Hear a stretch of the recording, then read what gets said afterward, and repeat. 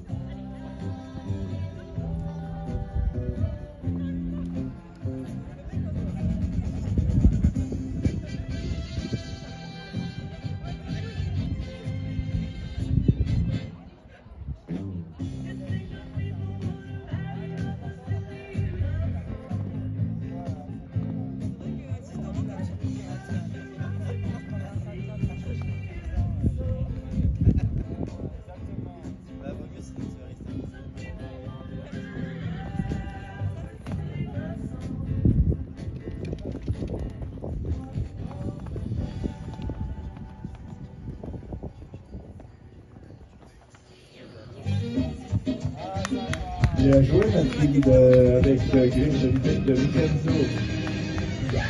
Bien joué, parce que 68 secondes et, 29 centièmes, ça te met juste devant Mathilde Laura Koroloff. Et pour l'instant, tu es en tête de cette épreuve aux couleurs de terrain animaliste.